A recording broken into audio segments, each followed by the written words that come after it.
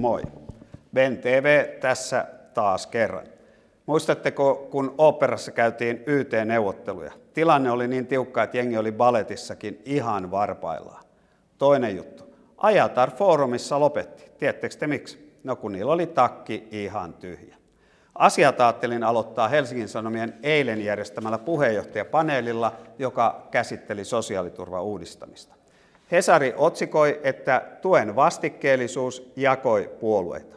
Mietin, että näinköhän jokainen Hesarin lukija ymmärsi, mitä tarkoittaa sosiaaliturvan vastikkeellisuus. Sehän tarkoittaa simpelimmeillään sitä, että jos olet työikäinen ja työkykyinen ihminen ja sulle on tarjolla sopivaa työtä, niin sun tulee ottaa se työpaikka vastaan.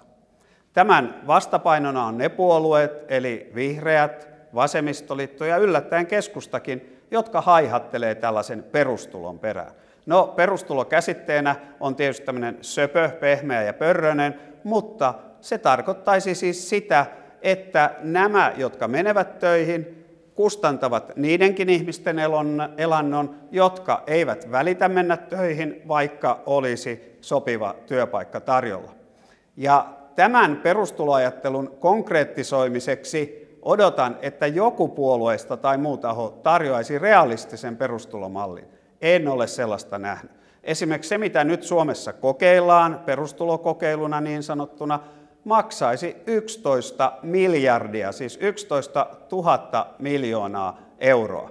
Ja vasemmistoliitto on siihenkin pannut vielä parisataa päälle, joka tarkoittaa vielä kalliimpaa perustuloa. Haluaisin nähdä realistisen perustulomallin ennen kuin siitä kovin pitkälle kannattaa jatkaa keskustelua.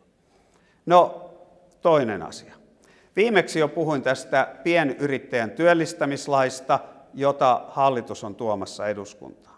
Valitettavasti ammattiyhdistysliike ei näytä hyväksyvän sitä ajatusta, että demokraattisessa Suomessa lainsäädäntö kuuluu hallitukselle ja viime kädessä eduskunnalle. Ne ovat nimittäin vastuuttomasti ryhtymässä erilaisiin työtaistelutoimiin estääkseen eduskuntaa säätämästä haluamaansa lakia.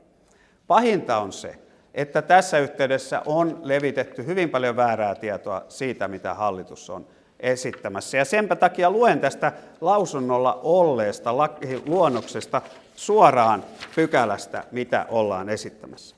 Eli irtisanomisessa olisi jatkossakin aina oltava asiallinen ja painava peruste. Pienemmissä yrityksissä, alle 20 hengen yrityksissä, se olisi pikkasen vähemmän painava, mutta silloinkin edellytettäisiin aina, sitaatti, työvelvoitteen laiminlyöntiä tai rikkomista – taikka epäasiallista käyttäytymistä silloin, kun se horjuttaa työnantajan ja työntekijän välistä luottamussuhdetta tai vaikeuttaa työnantajan tai työyhteisön toimintaa, eikä työsuhteen jatkamista tästä syystä voida pitää työnantajan kannalta kohtuullisena. Siis tätä esitetään. Ei pärstäkerrointa, ei mielivaltaa, ei mitään sellaista, mitä valhepropagandassa väitetään. Kaiken jälkeenkin on vielä niin, että hallitus tietysti saamansa palautteen tarkoin käy läpi ja tarvittaessa hioo vielä tätä esitystään ennen kuin se tulee eduskuntaan.